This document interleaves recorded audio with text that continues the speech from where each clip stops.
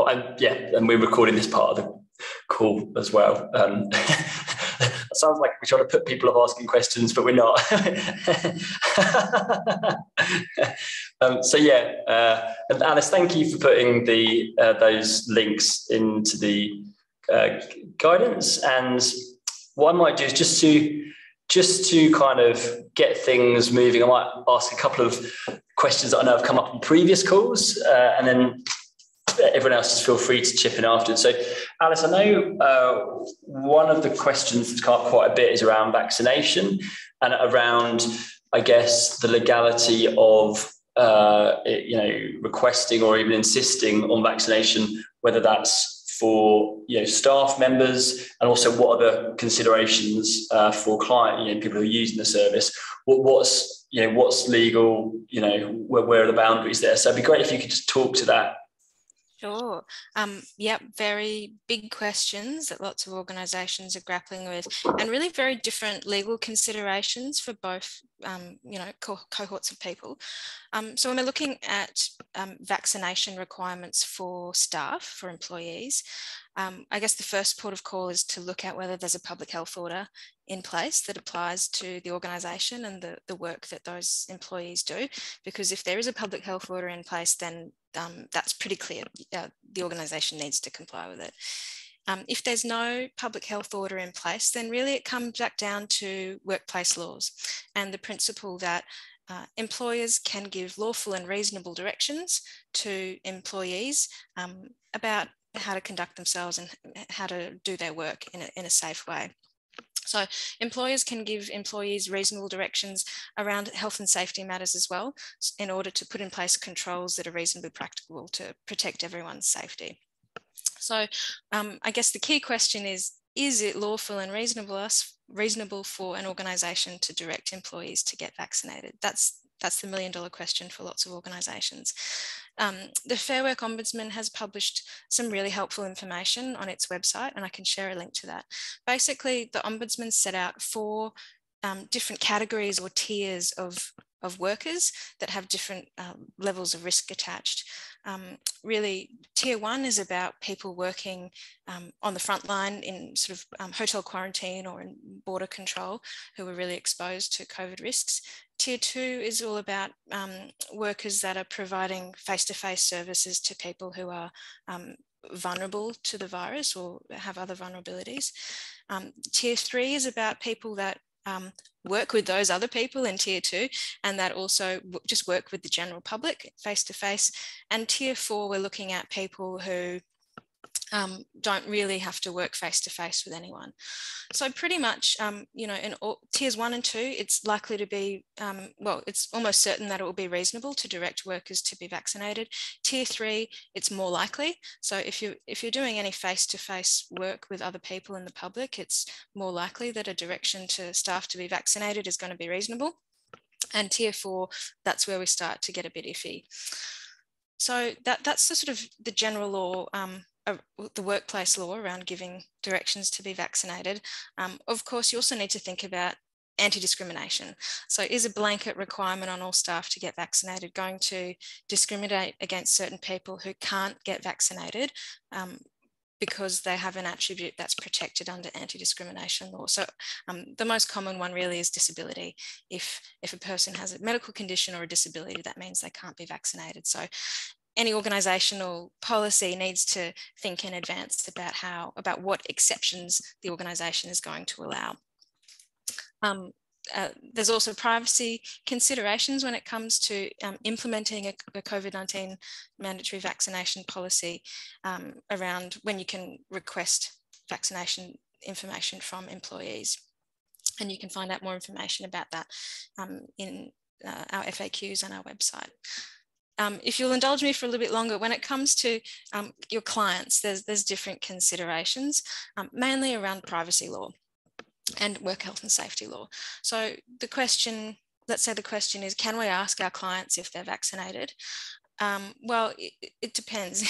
is, it a, is it a reasonably practicable control measure to, to ask your um, clients if they're vaccinated? Is, do you have a genuine health and safety reason why you're asking or are you just, you know, curious?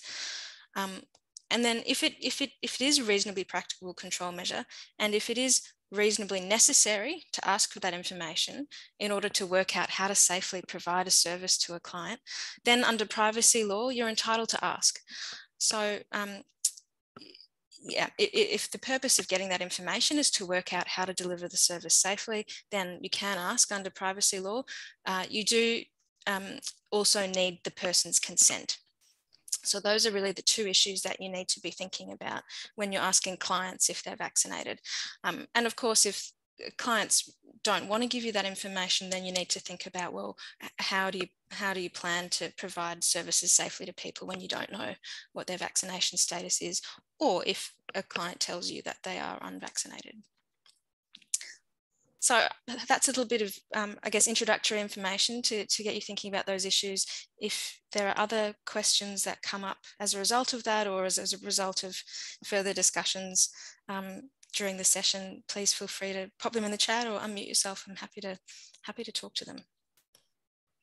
Yeah, lovely. Any other any other questions out there? I've um, uh, I, I, there's one other one. I, I know this is again this, this, has come up on a couple of the calls previously, so I'm sure it'll be interesting to people here. Is uh, what are the potential, I guess, impacts on an organisation? So if or what the consequences if, say, a couple of scenarios. One is um, is you know encouraging or, or mandating vaccination, and then there being a, a side effect uh, for from that person from that vaccination, um, and even that potentially if it's a serious side effect, you know, what would be the uh, legal implications for the provider? And then on the flip side of it, as I was sort of touching on previously, if um, people were to catch COVID through contact with the service, whether that's a, a client or a worker, again, are there any kind of legal implications uh, for, for, the provider? Mm. Um, well, yep, there are there are implications um, both ways. Let's start with uh, if an employee uh, has an adverse reaction to the COVID-19 vaccine. Um, I guess there's a, a, a, scale of different reactions that people could have. On the you know lower end of the scale, um, if people have a mild, and most people will have a, a mild reaction, um, employees can access sick leave for that. If we're talking about a really severe reaction, um, then I suppose we're going into um, a, you know workplace injury territory. So it's possible that if someone were to have a really serious reaction to the vaccine that caused them an injury, they might be able to um, lodge a workers' compensation claim. Um, but you know, as with any kind of claim like that, there are boxes that the person would need to tick in order to be successful in making that claim. The other thing to um, to be aware of is that the federal government has um, developed a claim scheme.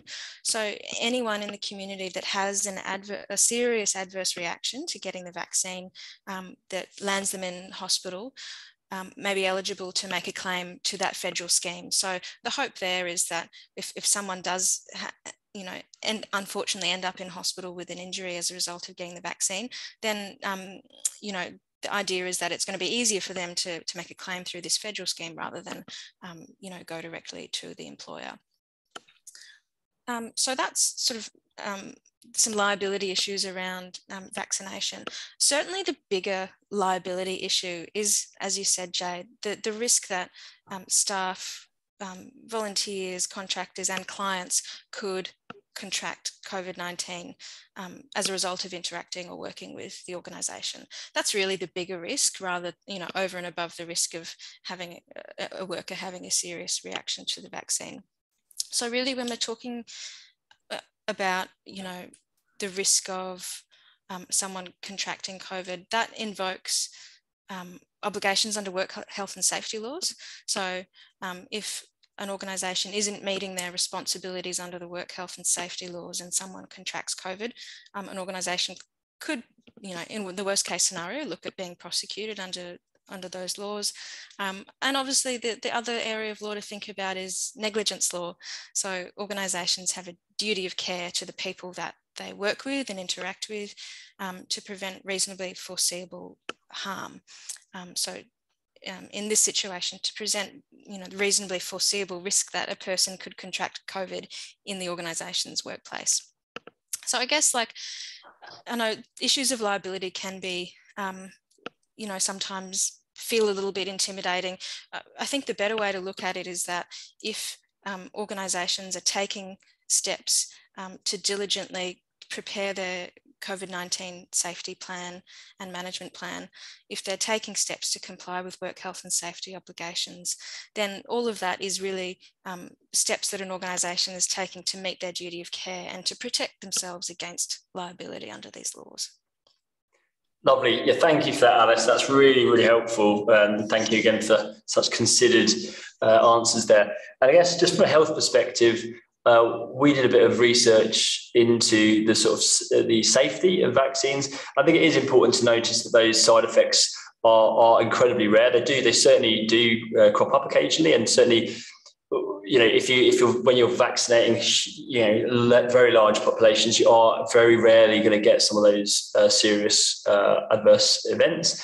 But we did some, you know, just to put it in perspective, we worked out that even if the entire population had been vaccinated with AstraZeneca, which I know people had been a bit concerned about, um, then more people uh, nationally annually would have died from lightning strikes than would have died from the AstraZeneca vaccine. So just to put it in a bit of context and perspective, because yeah, there are significant, yeah, there are tens of people that do actually die from lightning strikes in Australia every year. So just again, just just to get a bit of a sense of perspective in, in the whole thing, and just to uh, reinforce what Alice was saying there about the the, the bigger risk. Uh, particularly now borders are reopening, uh, is is clearly actually COVID itself, which is you know it's it's a, it's a vicious disease. It's really it's a really nasty disease. Uh, okay, thank you for that. So, any other questions? I think we might jump into uh, a um, sort of a movement. Uh, no. quick question. Yeah, please do, Kim. Go for it. Well, it might not be quick, and I hope I can articulate it well. Um, but where we provide um, case management to children out of home care, we provide case management to their carers, and we have our staff, paid employees, and then we also have um, like close interactions obviously with a lot of birth family and extended family. And obviously vaccination yeah is a big thing at the moment. And trying to get our heads around as a control measure obviously that's something that we're looking at. For staff i think we're doing okay with our approach. But what i'm not 100% clear on is the difference between because clients our clients are under 18 so they're children and we're responsible for them because the department has given us responsibility for them to you know, um, obtain their health records, I suppose, and keep them on our systems and track it. So I believe that we're okay to hold that information on their files as we would any other health information. Carers are volunteers, technically, but they're responsible for caring for the vulnerable children. And I, yeah, so I'm just not, I, I'm not clear on where they sit because they're a volunteer. So would they sit the same as employees? Is that in terms of um, whether you can collect vaccination information from them? Yeah, a bit of both. Like what would be the expectation of carers caring for vulnerable children um, who are in out of home care, um, and the expectation of them to one have the vaccine, and then two, how do we safely, like you know, store that information so we know as a company what risk we've got in regards to carers having vaccines vaccinations and the risk that then has on the children and the birth families and the flow on to staff as well. Um, yeah, yeah, and how to store it, like what? Yeah. So I know you mentioned consent, so that's something that I've made note of. Yeah. Yeah. So I think um, I can give you some general information about hmm. when mm. organisations can request vaccination information, uh, and then if you want, uh, it might this might be a situation where you actually want to come to Justice Connect for some specific advice about your obligations to, to carers and the other people that you work with. But generally speaking, under privacy law, um, you can collect health. So health information is a, is a um, type of personal information and it attracts higher protections under privacy law. So um, an organisation can collect health information where it's reasonably necessary for the organisation's functions and activities. So if basically if there's a good reason for you to ask for that information, if you need that information in order to, for example, determine how to safely work with that person um, and comply with your work health and safety obligations, then under privacy law, um, you know, you, you, you have the right to ask for that information. Um, of course, um, you have the right to ask. It doesn't mean that you'll get it because the person has to provide their consent. Um, really, um, under privacy laws, the other things to consider are that the golden rule is really you should be collecting the minimum amount of information that you need in order to perform that activity or function that you, you need the information for. So, um, you know, lots of organizations have been thinking, particularly around the question of, well, do we actually need to you know, take a photocopy of someone's vaccination certificate or their immunization history, or can we actually just, you know, look at it, make a note that the person's vaccinated and let them take that record away? So that's a, a question lots of organisations are considering. On the storage front, um, yeah, it, vaccination status is health information, so it has to be stored, um, you know, in, in, accordance with the law, privacy laws that apply to health information. I think the important thing to consider is um, really, you know, in what format you store the information, um, who has access to the information, um, you know, is it shared on a need to know basis, who can modify the information. It's really about protecting the integrity of it and making sure that, you know, because this is someone's private health information, making sure that it's not just available for everyone to see. It's really, you, you've given thought as to who has access to it.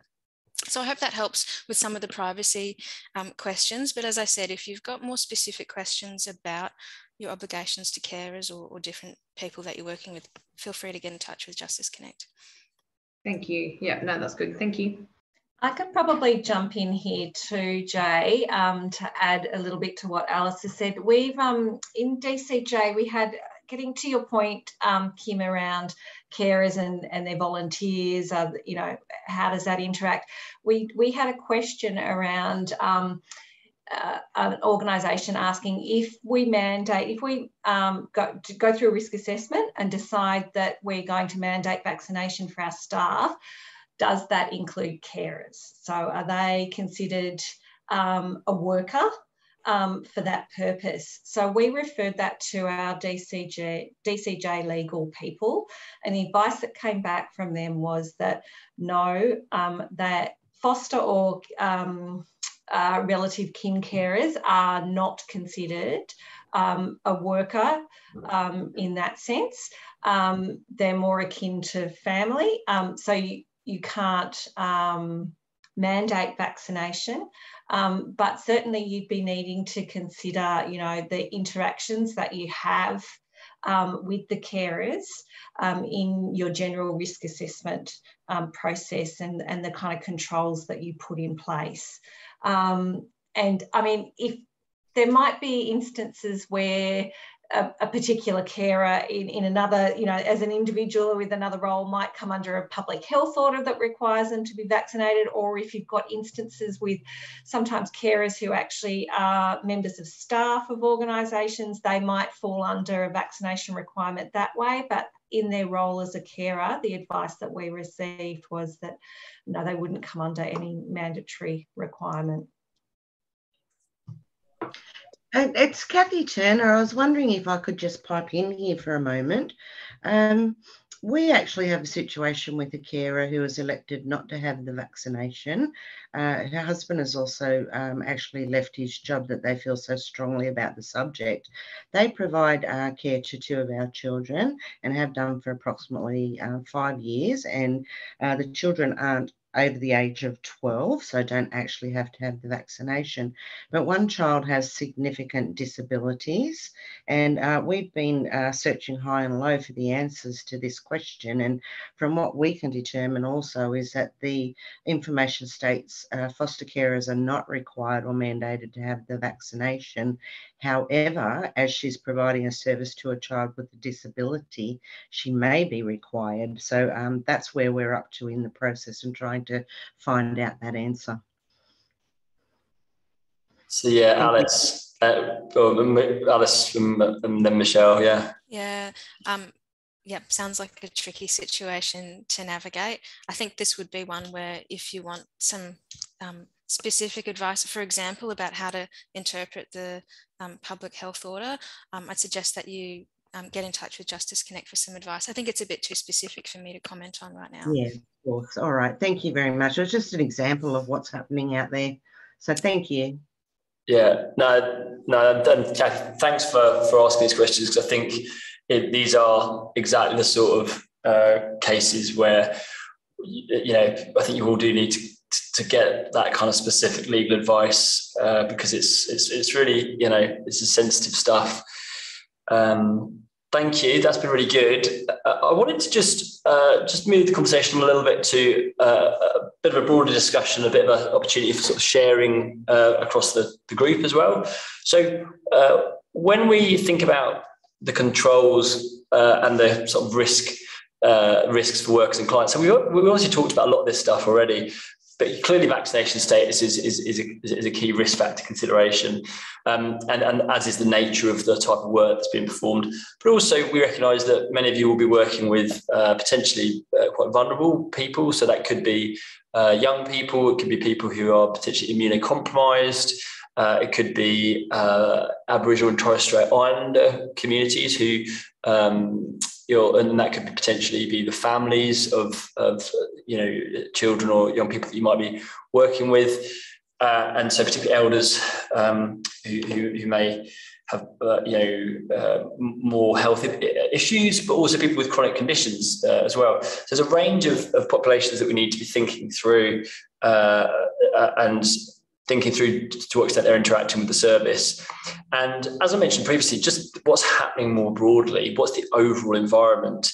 You know, when we were almost down to when we did down to almost zero cases for there was a good stretch for a period after the first outbreak.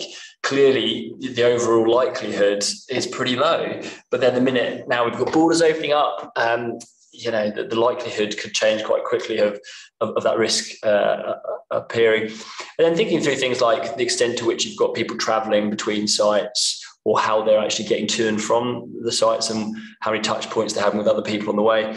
And, and also, as we saw, particularly in the aged care space, uh, you know, real problems if uh, where one person potentially was moving around multiple aged care facilities and uh, infecting multiple people. So again, just thinking through some of those risk factors. And in terms of the controls, I think we talked about most of these.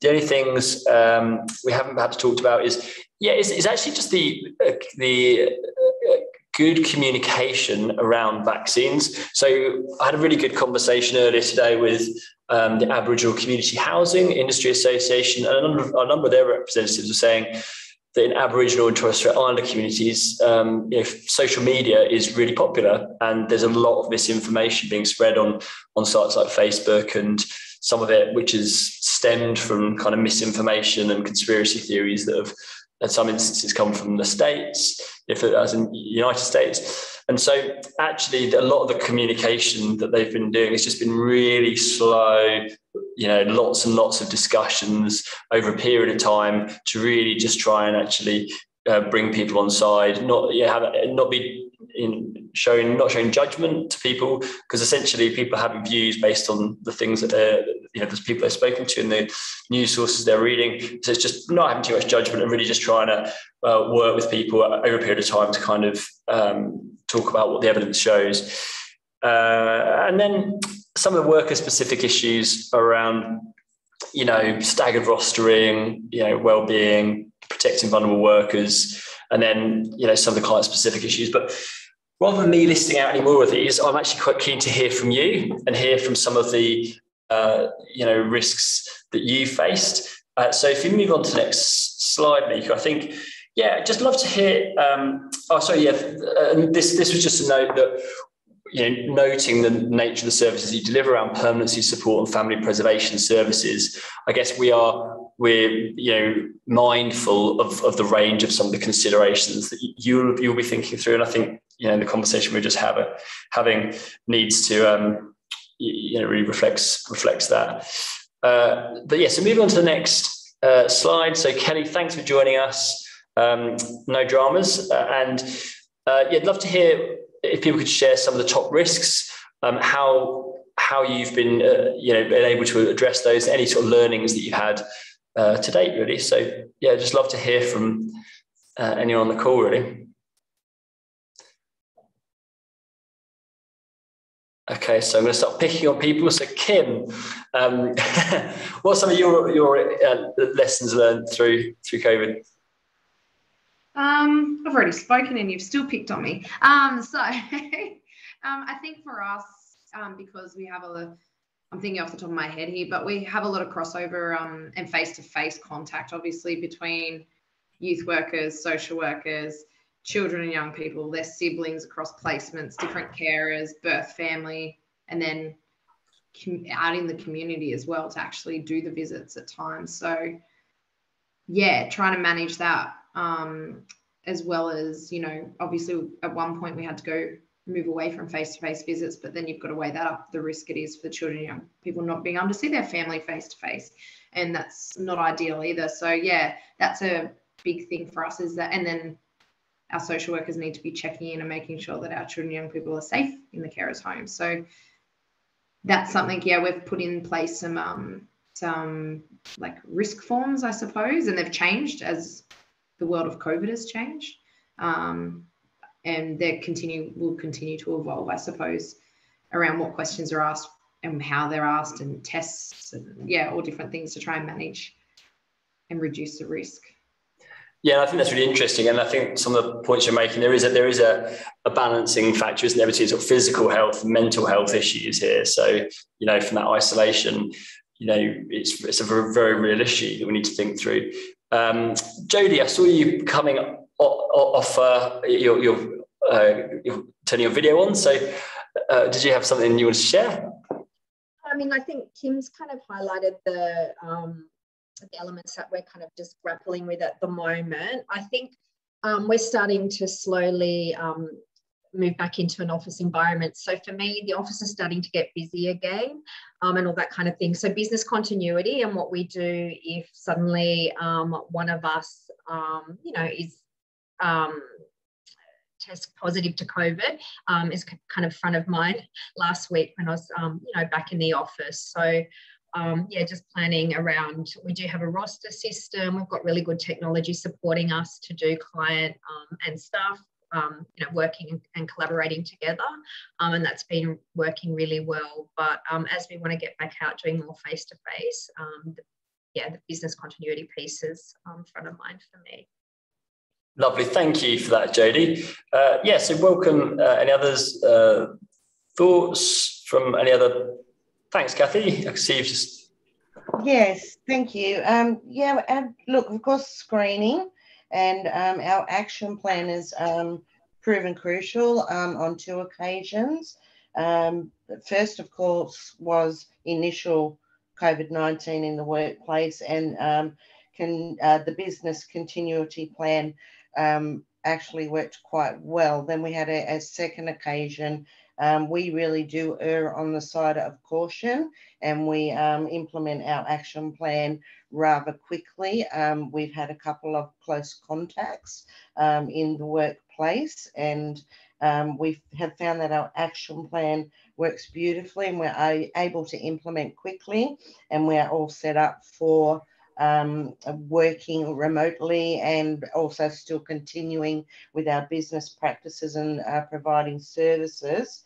And um, of course, it's always evolving as well. So, uh, me being here today is part of that um, to make sure we're covering all bases and improve um, what's happening out there. So, um, we've found that to be very very crucial um, that we can um, yeah have a really thorough action plan. And we've been back in the workplace face to face for quite a period of time now.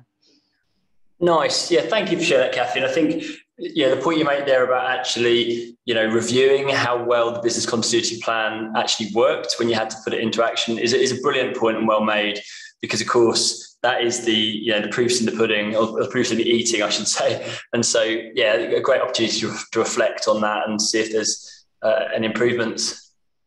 That's great. Absolutely. Lovely. Thanks Kath. i think tina you had a point.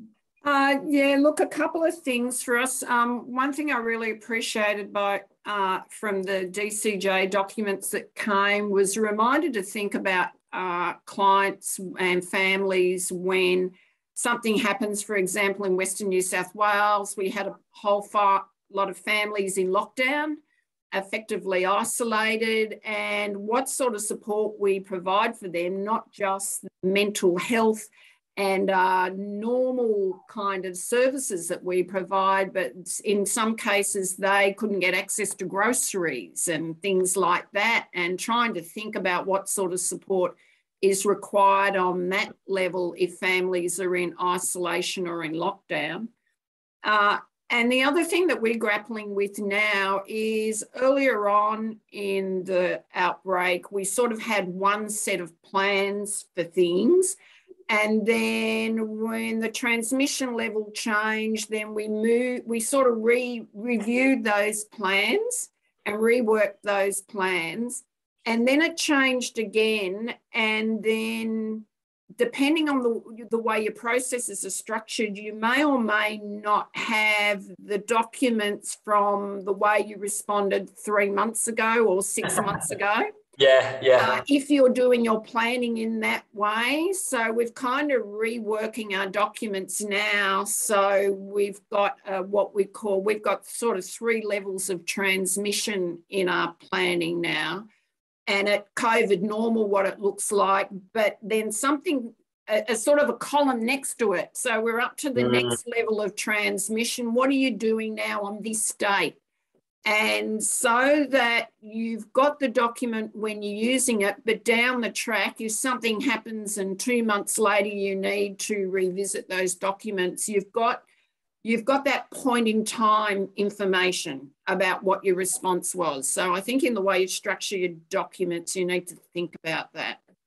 Yeah, no, I think that's really, really, really insightful, Tina. I like that a lot because it, to some extent, it's almost, we're in this sort of, we've had the big peaks and troughs, and now we're into a series of almost uh, ripples that are much more localized. And so you're almost sort of stepping up your your um, yeah as, as as COVID increases in area and then stepping down again. And so as you say, as you're stepping up and stepping down into different levels of, I guess, um, you know risk management territory, you, you you'll find that you keep on coming up against situations that are hanging. This is a bit like when we were just coming down from the first major peak a year ago or something. So yeah, I think I love what you said there, Tina. I think it really does go to show, yeah, keep keeping track of the different controls that you had in uh, at different escalation levels is, is a really smart uh, a smart thought. So yeah, th- thank you for sharing that.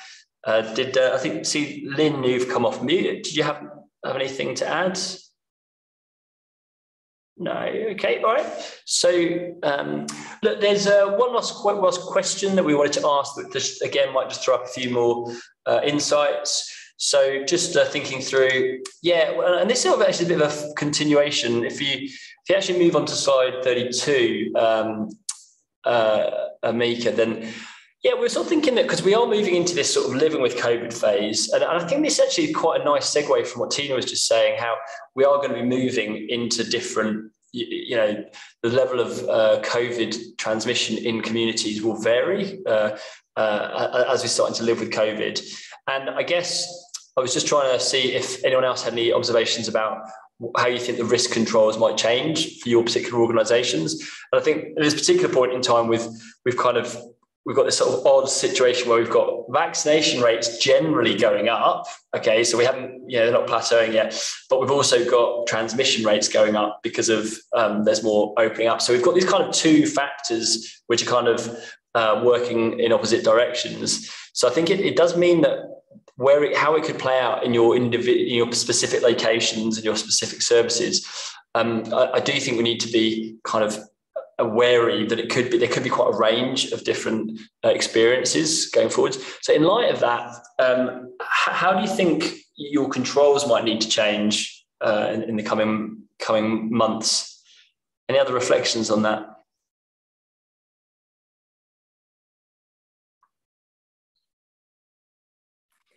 Um, can I just say a couple of things we're wrestling with? Yes, two, two, two things we're wrestling with at the moment. So in your in our normal COVID normal world, so I don't know how other people are dealing with, with this. Um, in our COVID normal world, when when we have an office environment, but we have workers that are obviously going out into the community face to face with the families and children that we work with, and then coming back into an office environment. In the office environment, when do people wear masks and when don't they? Uh, recognizing that if depending on what your office is like, you might have good ventilation or limited ventilation, and you might social distance. But if you're in a room with four desks in it with three other staff for hours on end, whether you're 1.5 meters apart or sitting next to them isn't going to make a lot of difference. yeah, it's a kind of academic at that point. Yeah, yeah. Um, so there's that. And then the other idea, and because of a, a couple of incidents we've had in uh, situ intensive family service situations where we have uh, families come to a centre, that idea at one stage in COVID where we had Team A and Team B and at what point you implement team A and team B because if if you don't have team A and team B during COVID normal, once one person gets infected, everybody's out. And we've found in different districts, the advice you get from New South Wales Health might be different. So we get the response that our staff are considered healthcare workers. So everybody's in isolation for 14 days, for example.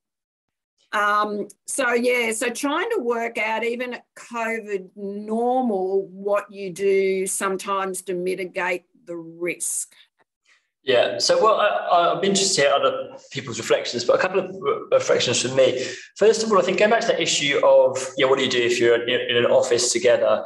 Uh, and I think it, I actually agree with you that there's you know there's only limited uh, evidence that actually wearing masks if you're sat all sat in the same office for 10 hours together even if you're you know more than 1.5 meters uh, that that that control probably is going to be relatively ineffective. So I think it really comes back to the hierarchy of controls again, which is what else can you have in place? So you know wherever possible, if it's reasonably practical, if you can uh, you know, get people to be doubly vaccinated. Fantastic. I think, you know, QR codes. So just, I mean, or at least, yeah, that's an easy way of doing it. But whichever way you're keeping track of who's in the office on which days, so at least if there is a case, then you can jump on it quickly.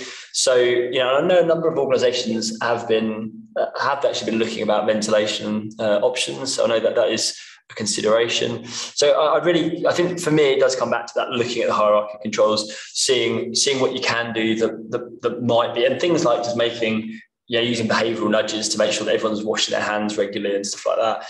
So it's it's about some of the other uh, aspects. Um, but um, but yeah, I think the other point just it it is what I would say is the the likelihood of these things happening. Obviously, as we do move towards herd immunity. So once you get up, up, up once you get a whole population up into the 90, 90s, you know, 90, 93, 94, 95%, then herd immunity does start kicking in. And so I think generally the likelihood of, of outbreaks does does come down. So I think, yeah, from a risk assessment perspective, I'd, I'd really be walking, watching quite hawkishly your local community to see what the vaccination levels are and seeing if there is variation within that, uh, within some of the communities. Because if, when you, if you've, I mean, Austria is a good example. Austria, the whole country has just gone into lockdown. They've got, uh, they're in the 60%, uh, sort of 60, 70% territory of vaccination. It's just not enough. It's not enough to actually prevent an outbreak from happening. You've got to get up into the 90s before you start getting that real population herd immunity. So that would be something else that I would also be just what as a key number to be looking at in your local communities. I think that that's something that you can use as a bit of a gauge of uh, the the level of risk. But again, appreciate any other reflections from perhaps Michelle or Alice if you had any other thoughts on that. Not really from me, just that, you know, the, the duty under work health and safety laws, um, you know, continues to apply as circumstances change and we know that um, you know everything everything's going to change as it has changed over the last year and last two years. So yeah just that that risk that obligation to continually do risk assessments and continually to manage risks um, has i suppose a legal basis for it as well. Yeah yeah. Thanks. Michelle anything else to add no, I, I, was going to actually say what um, Alice was saying, just reiterate, you know, the dynamic nature of this and the need to to continually update. And and it, it is, you know, it is tricky because you need to, as you pointed out, Jay, you need to be aware of what's happening in in not just the kind of broader New South Wales and but in your local community um, really helps to have an eye on that to, to understand the full risks um, and uh, your clients and your staff. Um, but it, Tina, it sounds like you're really on, on the right track um, with, with your scenario planning for your different, you know, COVID normals and, and different situations. Um, and, and that's what we encourage you to do. Um, be interested to hear what, what anyone else is doing in that space, um, particularly around that, that issue, like you're saying, of the, the COVID normal, because it, it is easy in, I think, in, in in the current circumstances, yes, to slip into sort of a little bit of complacency. Um, I, yeah. And that complacency point it was, it was when we were speaking to some of the Aboriginal community housing providers this morning, particularly if you're potentially in rural remote areas that actually haven't seen any COVID up to now, that you might sort of almost see, oh, you know, some of the language is almost, oh, this is a bit of a Sydney thing. And it's like, well, it's not going to be just a Sydney thing uh, now that borders are opening up. So, yeah. Um, any other uh, questions, uh, any reflections, people on the call? I think uh, I saw Michelle coming off. I was wondering if you had anything to add. Just want to make sure everyone. So I, I think we're just in the last couple of minutes of the call. So if there's are there any final questions that people have? Um, so if not, then I think the uh, there's a couple, a couple of things just to mention. One is um, one thing that we learned on one of the calls earlier is that on your Service New South Wales app, uh, you actually nowadays, as COVID numbers are starting to increase again, um, so you, you've got the number of cases is going up, even though actual number of hospitalizations is, is now not going up because of the high vaccination rates. But um, if you are a close contact, you might actually just the only way you might hear is through your Service New South Wales app. So have a look on your phone, and you might find that, that actually that, that, that, you will get recorded. So in some cases, pub, uh, it's, it's, becoming that's becoming the, the, primary means of them communicating. Whether you've been um, a close contact, you may not necessarily get a phone call uh, or an email. So that was something that we heard earlier, uh, which uh, is was news to us. We thought was it uh, worth sharing. Um, and um, yeah, I think apart from that, I'd just like to say just a huge thank you to you all for attending this session. I hope you found it helpful. I hope you can kind of spread some of this uh, both in new organisations and more broadly. Do do pass on um, the links to this to any other organisations or colleagues that might find it useful. Uh, Alice, thank you so much for your pearls of wisdom as ever. Uh, Mika, thank you for co-presenting with me. Um, Michelle and the rest of the DCJ team, thanks also for, for joining the session. Um, so Michelle, I'll leave you uh, to sort of say the final word uh, from your side, really. Sorry, I'm just having trouble with the mute button at the end. Um, look, I just wanted to say a very quick thank you. Thanks, Jay and the team, and thanks, Alice. Um, and thank you very much for coming along, everyone, and participating today. I hope you found it useful um, and there's some good, good um, insights that you can take away. Um, if you are looking for more information, I'll put in the chat now. There is a resource page on the DCJ website um, that we're continually updating. as tricky questions come in, we update our FAQs Justice Connect's got their FAQs. Um, there's a lot of resources out there. Please access them if you need them. Um, but that's all from me. Thank you very much. Yeah, lovely. Thanks very much, Michelle. Thanks, everyone. And yeah, best of luck uh, putting all your plans into practice. And uh, I hope you manage to keep COVID out of your uh, services. Take care, everyone. Have a great day. Thank you. Thank you. Thanks all. Cheers.